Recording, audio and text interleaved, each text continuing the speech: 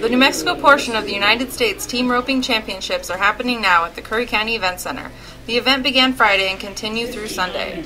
Action begins 9 a.m. each day and is free and open to spectators. Ropers competed for eight trophy saddles, 31 trophy buckles, and six trophy leather rope bags.